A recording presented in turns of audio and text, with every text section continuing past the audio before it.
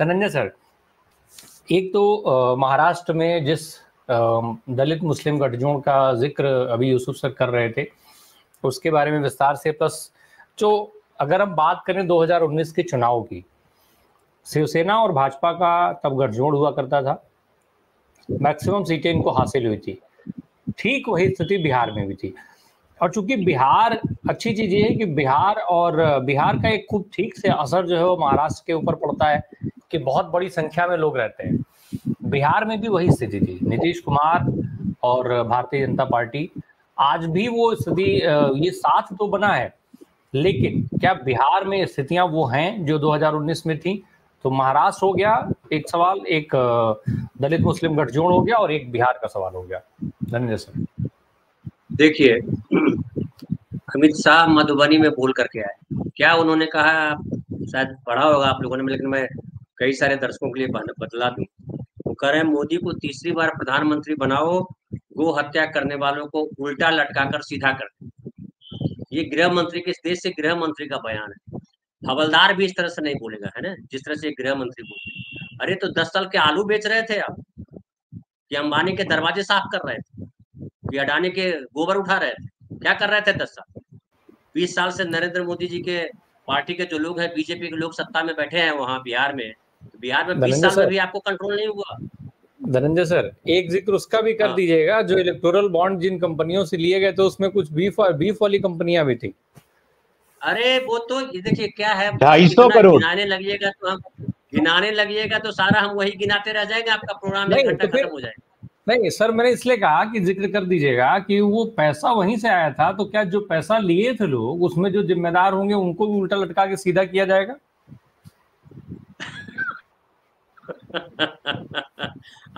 अब क्या कहा जाए मतलब हँसी आती है। गृह मंत्री इस देश का गृह मंत्री ये भाषा बोलता है। दस साल तुम रहे यार, पाँच साल गृह मंत्री रहे आप। पाँच साल में नज़र नहीं आया? मधुबनी में कौन गाय काट रहा है? बिहार में गौ हत्या जो है, वो जुर्म है। तो आपको अगर गायों से इतना मोहब्बत है, कोई दिक्कत नहीं है। अगर लगता है तो जितनी गायें खाली है, जितने उसके बछड़े खाली हैं, सब गुजरात ले जाइए, क्या दिक्कत है? बिहारी रोकने वाले थोड़े हैं अरे क्यों ले जा रहा है गुजरात? ले जाओ सब उठा करके। तो देश भर की सारी फैक्ट्रियाँ, कंपनियाँ पैसे गुजरात में लगा रहे हो, और सारा गोबर इधर कर रहे हो आकर के, बिहार में गोबर कर रहे हो। तो बिहारी थोड़े कमज़ोर हैं इसमें, समझ गए? इसलिए वो अभी सही तरीके से भगा नहीं रहे हैं।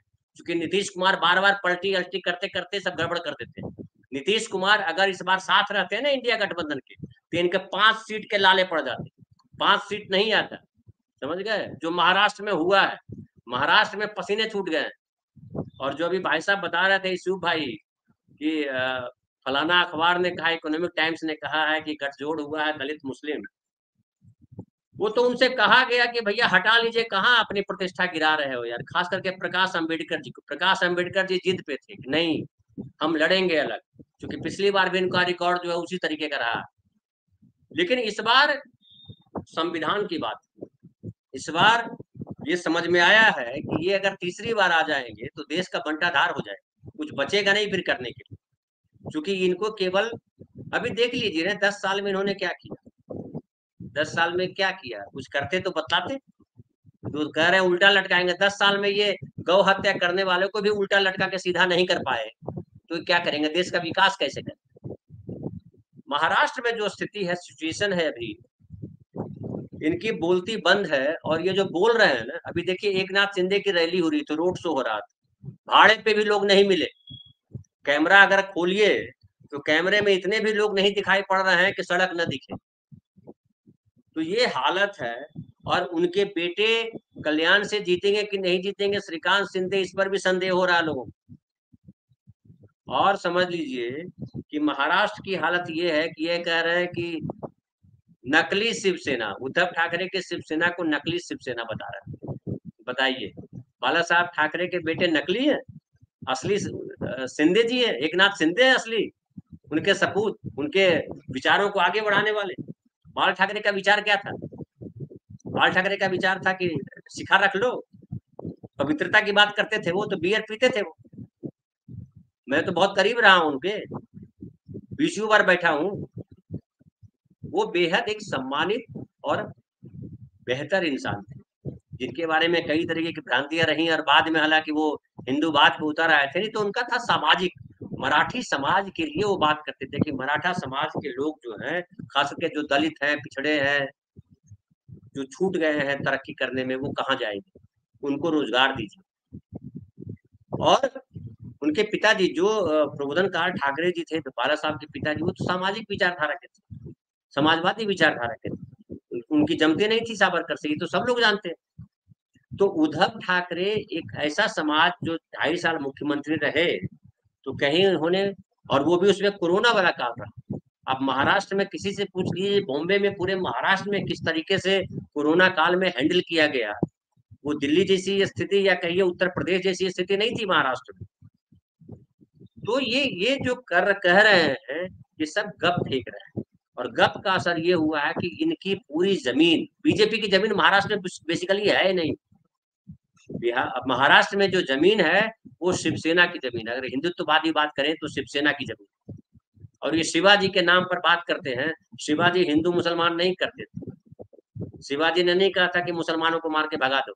इतिहास भी नहीं पढ़ते हैं, भूगोल भी नहीं पढ़ते हैं, वर्तमान भी नहीं पढ़ते हैं, भविष्य कुछ नहीं पढ़ते हैं, खाली गप करते हैं और बीजेपी वालों को तो इस बार सबसे ज़्यादा सबक जो है महाराष्ट्र में मिलने वाला है। अभी मैं बीबीसी का मैं देख रहा था, एक सर्वे आया है। बीबीसी के सर्वे ने साफ़ साफ़ बतलाया है। कि पूरे देश में क्या स्थिति है। हालाँकि मैं बताता हूँ कि वो जो सर्वे बता रहे हैं, फिर भी कम करके बता रहे हैं। उससे ज़्यादा बुरी स्थिति है। जिस तरह से बिहार में आप आइए, बिहार में तेजस्वी यादव जिस तरह से अकेले मोर्चा संभाला हुआ, जिस तरह से रैलियाँ की है, पसीना छुड़ा दिया है। प्रधानमंत्री और गृह मंत्री लगातार जा रहे हैं। पहले चरण के चुनाव में पाँच सीट पर चुनाव था, चार जगह प्रधानमंत्री ने की रैली। बताइए, हर लोकसभा में प्रधानमंत्री रैली करता है? कभी सुना आपने?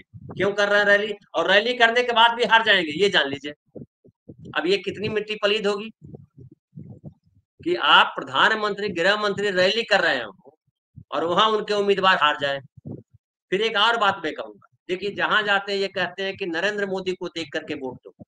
तो नरेंद्र मोदी को तो देख लिया दस साल, अब क्या वोट देना बाकी रह गया लोग अब क्या वोट देगा? क्या देखना बाकी? आप कह रहे हैं भैंस खोल के ले जाए, आप भैंस की भी सुरक्षा नहीं कर पाए। मंगलसूत्र नहीं बचा पाए इस देश के लोगों का। चार कमरों में से घर में से दो कमरा छीन लेगा कांग्रेस पार्टी, सत्ता के बाहर रह करके। और अगर सत्ता में अगर आ जाती है तो कैसे बचाओगे? बचाओगे आप? बचाना जा करके तो ये पूरा का पूरा जो है नरेटिव इनका फ्लॉप हो गया। जख मार करके खाली हिंदू मुसलमान की कुछ अपनी ज़मीन बची रहे। कम से कम कोर वोटर उनके जो है, उनकी बात सुने। जो पाँच सौ रुपए लीटर पेट्रोल खरीदने को तैयार है। हालाँकि मैं तो कहूँ कि अगर सरकार इंडिया गठबंधन की बने तो भाजपा के कोर वोटरों को चिन्हित करके उनके लिए कर दे कि इनको पाँच सौ रुपए लीटर पेट्रोल मिलेगा, खरीदो। है ना? ये किया जाना चाहिए इस देश में। क्योंकि ये जो है, ये जो एक हमारे गाँव में कहावत है, बिगड़ा हुआ साण तो ये भाजपा ने पिछले दस, पंद्रह, बीस सालों में खासकर अडवाणी जी के बाद बिगड़े हुए साण ढेर सारे पैदा कर दिए। जिनके पास न परिवार की चिंता है, न बच्चों की चिंता है, न पास पड़ोसी की चिंता है। उनको सिर्फ़ जो है हिंदू राष्ट्र दिखाई पड़ रहा है। लेकिन अभी जो जो है, आपके नोएडा में एक घटना हुई। एक लड़की भागने के आरोप में एक लड़के को अरेस्ट करके ले गए और सुबह में पता चला कि उसकी मृत्यु हो गई। उसके भाई रो करके बता रहा है कि पाँच लाख रुपया मांगा था, पचास हज़ार हमने जमा कर दिया था, साढ़े चार लाख हमने कहा था सुबह लेकर के आएँगे और उसके भाई की मौत हो गई। अब ये बताइए, जब सरकार को डर है कि उसकी सत्ता जा सकती है, तब पुलिस इतनी खतरनाक स्थिति में जब सरकार को डर खत्म हो जाएगा, हिंदू राष्ट्र बन जाएगा, हिंदू राष्ट्र का मतलब हुआ योगी जी जब तक ज़िंदा है, मुख्यमंत्री रहेंगे। फिर पुलिस क्या करेगी, इसकी कल्पना करो आप। तो एक और बात मैं कहूँ कि जो ईश्वर भाई कह रहे थे कि पूर्वांचल में स्थिति है कि बहुत मज़बूत है एसपी, और एसपी के मज़बूत होने का ही असर है कि आप तेरह, चौदह सीटें जो है, इनके पास है बीजेपी के पास। कैसे सीटें लाएँगे? और सबसे मज़ेदार बात बताऊँ आप झारखंड में स्थिति कितनी खराब हो गई। झारखंड में अभी लोग बोल रहे हैं कि सारे आदिवासी सीट हार रहे हैं बीजेपी पर मैं आदिवासी सीट के अलावा बोल रहा हूँ।